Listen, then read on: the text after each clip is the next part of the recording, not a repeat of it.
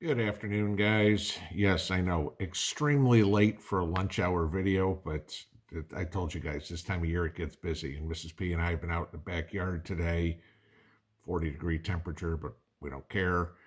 Getting the yard tilled up and seeded up and doing everything. And so we've just spent the last couple hours spreading straw after putting seed down and our fertilizer and gypsum to break up some of this clay and everything like that to turn our backyard into something other than a mud bog. You guys have all seen it. It's all dirt. We're going to try to get something to grow back there. So eventually we can plant medicinal herbs and flowers and all that sort of stuff and, you know, actually have a usable backyard. So that's where I've been. While I was out, the idiot in chief I mean, there's there's no other way to describe this man as to as than totally flippin' clueless. I Joe will go down as the dumbest president ever, and that will continue. You know, they'll be looking at history books in 2300, going, "Who was the dumbest president ever?" And it'll be Joe Biden. Okay. Jackass decided to veto a bill that passed both the Senate and the House with Democrat support to nullify this ESG investment rule. Okay. Now I want to give you guys an idea with this. And again, this goes into my wheelhouse here after years I spent on Wall Street. when you invest in your 401k, you know what you've got your options are large cap growth, large cap value, small cap growth, small cap value, international, then you'll have some different bond funds and everything like that, right? Joe has now decided that these money managers have to pick stocks that are in those mutual funds, because that's what a mutual fund is, or at least an equity mutual fund has stocks in it they have to pick stocks based on the company's environmental social governance score, not on how profitable the company is, how woke the company is. This was back tested by Bloomberg, uh, oh, what, a few weeks ago.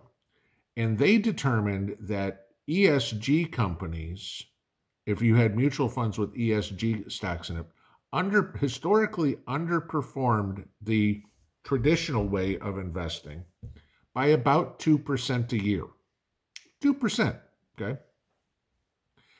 Now, if you're familiar with the rule of 72, based on percentage, take 2%, divide it by 72, and that's how long it takes to double your money. Be 36 years, right? How long does the average person work? About 40, okay?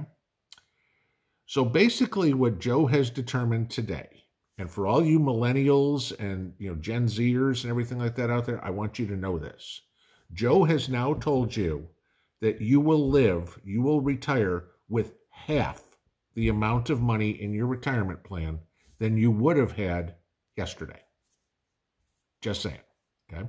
You're starting your working career now, if your goal was to have a million dollars in your retirement plan and then you could retire, you're going to have to work twice as long. Just saying. Joe just cut your retirement returns in half. That's what that 2% difference means, guys. Okay.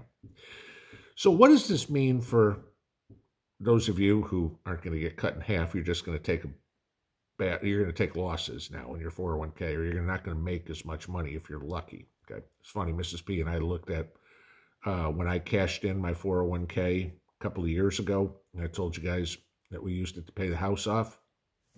If I would have left the money there from December 30th, 2021 until yesterday's market close, the market has gone nowhere.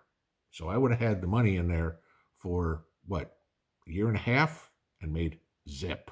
Yeah. Okay. Paid off the house. That was a good idea. So now you look at companies that mutual funds are going to be pretty much forbidden to buy oil companies. You know, all those, oh my God, the oil company profits are so great. You can't participate because they're not environmentally and socially governance, ESG compliance. Okay. But you can buy Tesla stock, congratulations. You can buy Facebook, congratulations. You know, stocks that tank.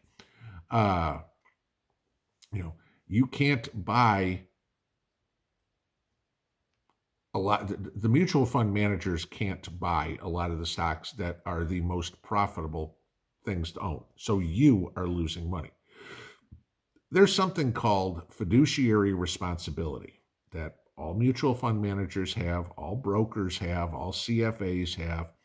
And what fiduciary responsibility means is that they must do their best to make you the most money possible within your risk tolerance. That's what fiduciary responsibility is. Joe just completely blew up fiduciary responsibility. He just told the public, he just told mutual fund managers, your job isn't to make people money anymore. Your job is to cater to the teeny tiny minority of the psych patient woke crowd. Okay. This is what it is. We need to, and again, remember what happens when stocks go up and down. This is a prop up the stock. So he's forcing money managers to buy stock in companies that suck, okay, because they're ESG. Oh, you want, I mean, Solyndra doesn't even exist anymore, but you could bet back in the, if this was going on in the Obama days, every mutual fund manager would have been investing in Solyndra because, of course, they were a woke company. You know, they were environmentally and socially governance compliant. So this is this is what you wind up having.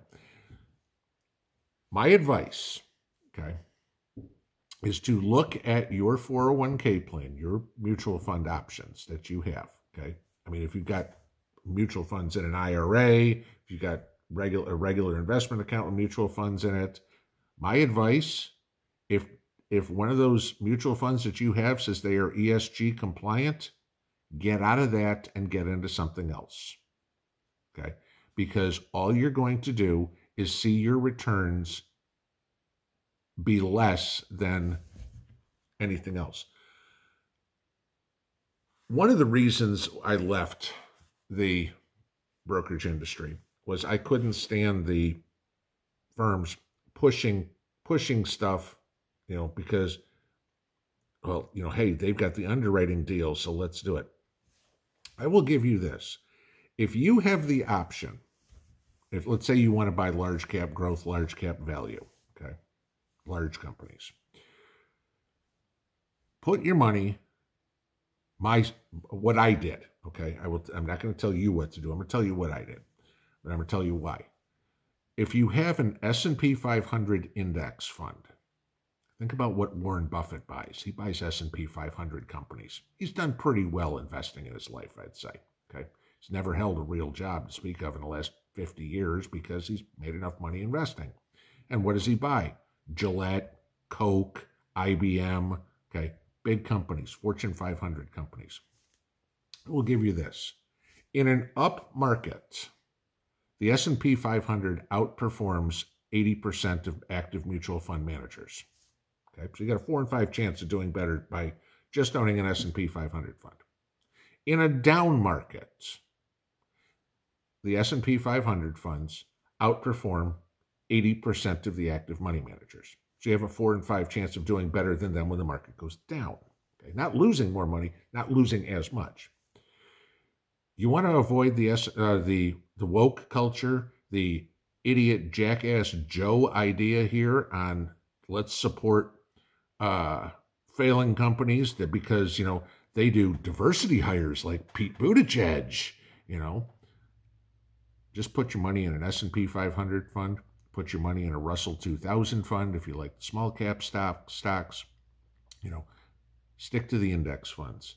To hell with the active money managers. They just got their cojones cut off with a pair of rusty scissors.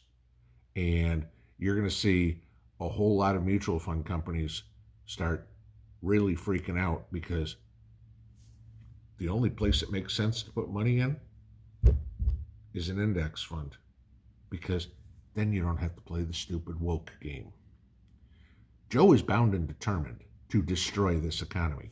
Today's veto which, like I said, passed with both Republican and Democrat support in both the House and the Senate, Joe thinks he knows more than everybody else. Joe doesn't know how to freaking tie his shoelaces. Okay? Whoever is pulling the puppet strings on Joe, Barry, I'm talking to you, okay? You're an idiot. Get out of this country. You are doing everything you can to screw it up. Joe, it's time to retire. My advice find yourself a nice three by six box at Woodlawn Cemetery. I hear it's beautiful this time of year. That would be the only thing that you could possibly do at this point that would be a benefit to the United States. Right here, Joe, you're going to get your ass kicked in 2024. I hope to God you spend the rest of the time in jail in a cell with Hillary. Because when we take this country back from all you jackass Democrats, it's going to be fun. I'm going to use that word. I had to change it. Enjoy your afternoon. Pinball out.